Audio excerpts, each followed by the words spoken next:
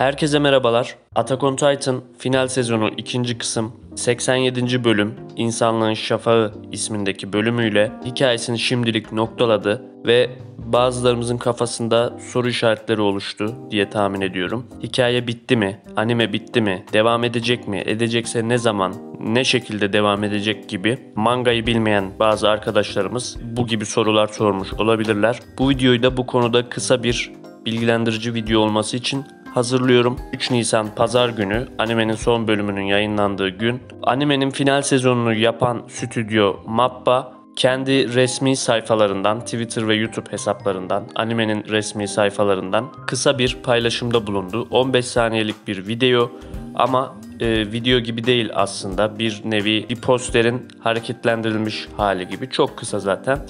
E, ben o posteri de ekranlarınıza vermiş olacağım. Bir dev ayak izinin içinde ana karakterlerimiz var. Yani e, bu videoda spoiler vermek istemiyorum ama ekranda görmüş olduğunuz Armin başta olmak üzere diğer karakterlerimiz var ve bu görüntü geçtikten sonra da 2023'te devam edecek şeklinde bir görüntüyle video son buluyor. Evet anime 2023'te final sezonu bu ikinci kısım bittiğine göre muhtemelen üçüncü kısım şeklinde devam edecek. Bu kararı tartışacak olursak yani çok az bir kısım kalmıştı mangadan uyarlanacak.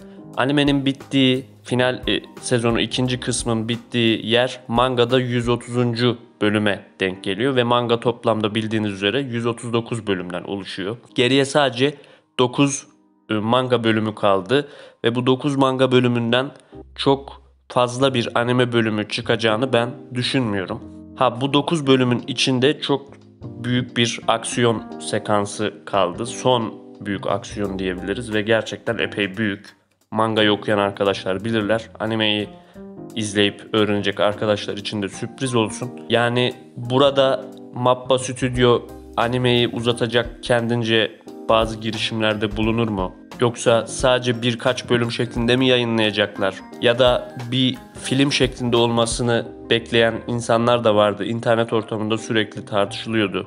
Bildiğiniz üzere Demon Slayer animesi ilk sezonunu bitirdikten sonra ikinci sezonu olan Mugen Train hikaye arkı bir sinema filmi şeklinde yayınlanmıştı ve bu nadir görülen bir olaydı aslında. Normalde animelerin sinema filmleri yan hikayeler, bağımsız hikayeler şeklinde yayınlanır. Ama bu ilk defa ana hikayenin yayınlandığı bir film, sinema filmi olmuştu ve Japonya'da yayınlandıktan belki uzun bir süre sonra Türkiye'de de yayınlandı ve belki birçoğunuz izlemişsinizdir.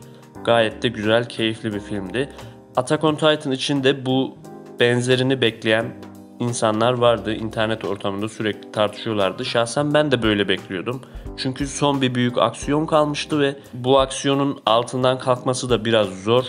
Bildiğiniz üzere stüdyo değişince 4. sezon ilk kısımda sürekli insanlar CGI görüntülerin ne kadar kötü olduğunu, bu tarz görüntüler izlemek istemediklerini tartıştılar. CGI biraz da işi kolaylaştırmak için bilgisayar ortamında hazırlanan animasyonlar. Zaten aradaki farkı ben ekranınıza vermiş olurum. Siz de buradan anlarsınız.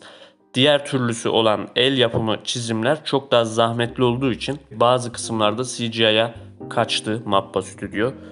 Burada onları suçlayamıyorum. Belki iş yükünden acele yetiştirmeleri gerektiğinden böyle bir şey yapmış olabilirler. Ama madem bu şekilde uzun yıllara yaymış olacaktınız son sezonu keşke biraz daha üzerine özenli uğraşılmış olsaydı da biz de daha iyi bir animasyon izleseydik. Bunun dışında Mappa ikinci kısımda CGI'ni de animasyonunu da bence geliştirdi. Göze daha hoş geliyor ilk kısma göre ve umarım üçüncü kısım bu yayınlanacak olan son aksiyon animenin sonu yine bizler için seyir zevki yüksek olan bir animasyon kalitesi, CGI olacaksa iyi CGI ya da mümkünse elle çizim olur. Çünkü gerçekten uyarlanacak çok az bir kısım kaldı. Önümüzdeki günlerde bizlerle paylaşacakları bilgilere göre animenin ne şekilde olacağını öğrenmeye çalışacağız. 2013'te başlayan Attack on Titan animesi 2023'te tam 10 yıl sonra sona ermiş olacak. Yani 10 yıl gibi bir zamana denk gelmesi de biraz manidar olmuş. Aynı şekilde 2023 Ocak ayında olabilir diye tahmin ediyoruz. Kesin bir bilgi yok. Sadece 2023 demişler. Ama genelde kış sezonu, Ocak sezonuyla birlikte anime yani Attack on Titan animesi hep Ocak sezonuyla, kış sezonuyla birlikte yayınlandı.